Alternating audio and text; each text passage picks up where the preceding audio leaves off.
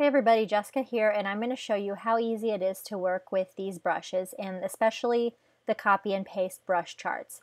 So I've got the Essentials pack open here, and that has all of your chart of all the different brushes, and them pre-colored, which is super helpful for your workflow. So um, I'm just going to do this demonstration with the Essentials, but if you have the Mega Pack, you will have um, all of your different brush sizes in different documents. Here you'll have your medium, your long, your extra long, um, all separate. But I'm just going to work within the essentials to show you the basics here today. And I went ahead and created another artboard so I can just do it alongside these brush strokes. And your brush library and the essentials will look something like this. You'll have all the colorizing strokes here, but we just ignore them for right now. And then all of your main brush strokes. And you'll have, if you hover over it, you'll have the first one, the short one, the medium one, the long one, the extra long one, and so forth for all the different brushes. And you can just, um, the first thing you can do is just take these brushes and start playing with them. You just touch a brush, get your paintbrush tool, and this is the small one. And I'm going to zoom in here a little bit so you can get a good view of this. Zoom into 100%. And you'll just see you paint as easy as that. And now I made four different sizes so that because these are um, image brushes, and I made four different sizes to cover all of your needs. And what's cool though is you can really use any brush for any size. But I made four sizes so that no matter what size your brush length, because these are art brushes, that you won't lose some of that detail. But it also just gives you lots of different effects. So I'm working with a short brush here. And I like to just generally use this on pretty shortish strokes, but there's no limit, you know, like you can make it a really, a quite a short stroke.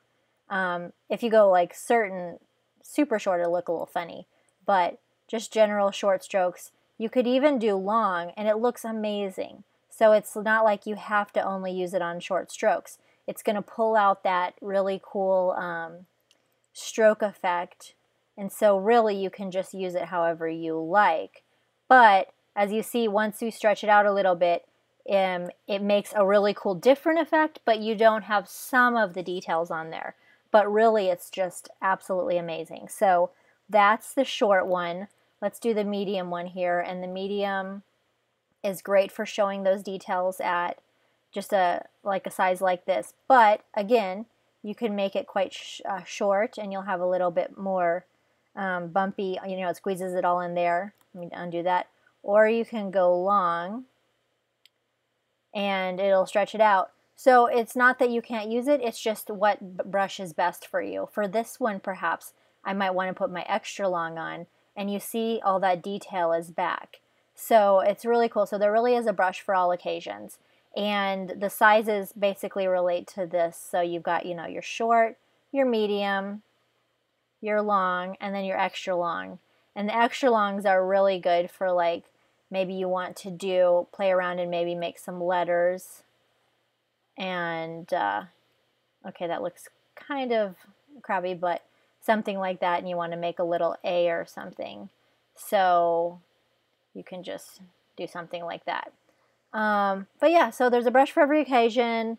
You've got four sizes. Use them however you want. But what's cool is that it'll still work. It's just um, even if you use a, let's say, a short brush on or a long brush on something short or the other way around.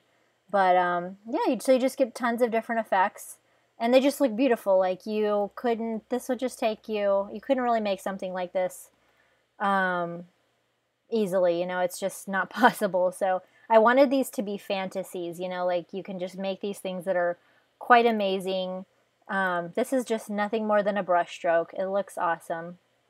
And uh, just have fun with it. So in other videos, I'll go through and show you the practical use of how you can really get the best out of using this um, brush system. And the copy and paste brush charts, why they're really important is because I have already set these up and pre-colored them so that you can have the fastest workflow possible because for the people that want to colorize them in Illustrator. Now you could always just, you know, make your shapes, throw them in, you know, copy paste them in Photoshop and recolor them.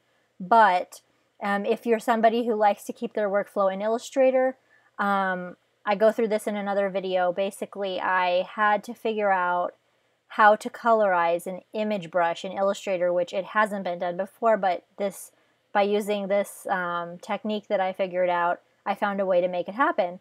And so it's all about making your workflow like really easy in Illustrator.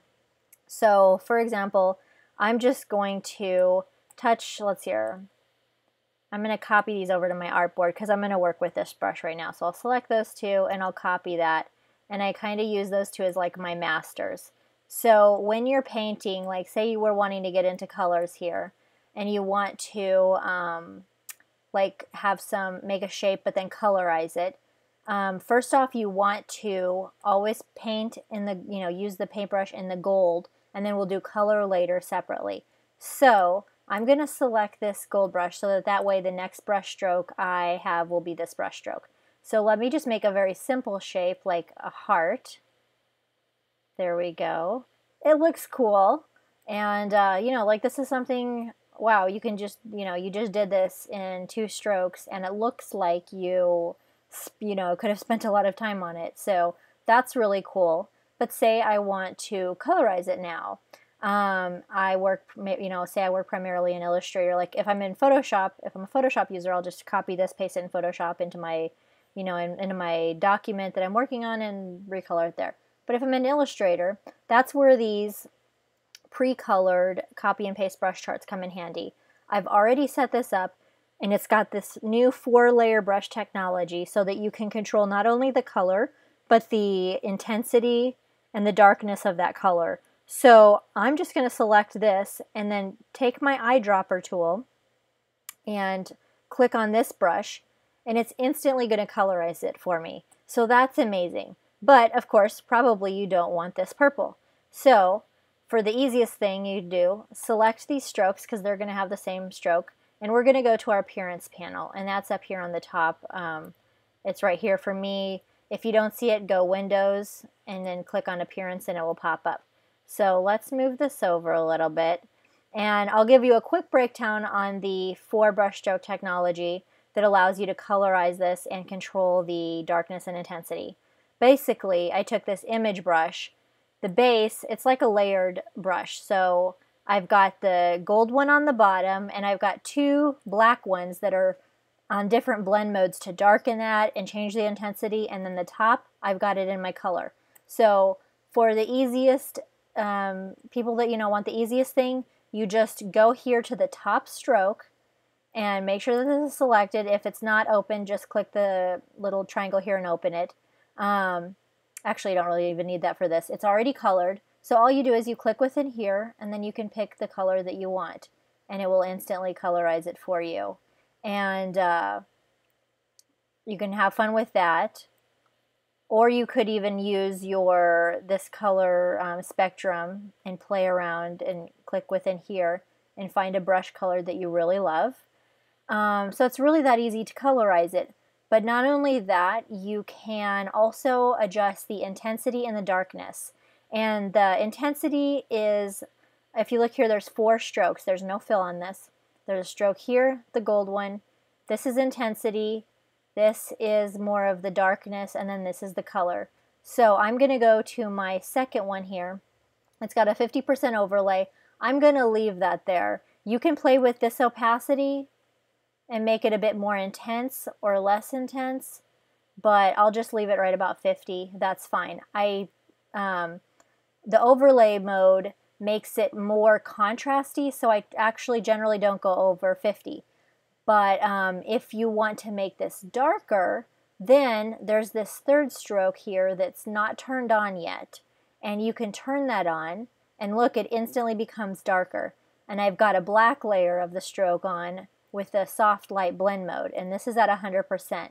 Now, maybe that's a little bit too dark for me. I might want to dial that back a bit. Put this at about 50%, something like that. So now you can see that I just colored this and I made it the color and intensity that I want and it's live. I can change the color again if I prefer, make it a bit of a red one, blue, and what have you. So that is the basics of using the color, um, the color modes. And what's cool is you could clear that out, change the um, clear that out and change it to another brush stroke or whatever, but I'll go into that in other videos. But this is the basics of using the colorizing technology. And um, here, just to show you here, I will, let's copy these over. Let me copy and paste. And say I want to change it to another color. So I'm going to select those, take my eyedropper, and I'll just go here. Okay, now it's that brush, you see? So it really is that easy. It's live. I can change my color again, um, all that kind of good stuff. But you want to do that, really just change it um, with these, these colored ones that are the master. Now, one last thing, actually, I just changed my mind. I kind of make these videos up as I go along, as you can see. Um, say I want the stroke to be thinner. Well, I can select, um, actually, let me take my master, because it's always your using these masters to, as a to pick up the appearance off of. Well, if I scroll this one down, this is too thick. I want it too thin, thinner than that. So let me just take my master, let me resize it, and as I resize it, it's going to scale down the stroke and effect proportionately, which in this case is really good because that's going to help us because the, as you see, this brush stroke is very thinner than this one. So now all I have to do is select this, take my eyedropper tool and pick it from there and voila my thing is now thinner and I have just a different you know a different kind of uh, look that I wanted. So um, it's really cool. And okay so that's about it for this video and then I'll just show you some more stuff in following videos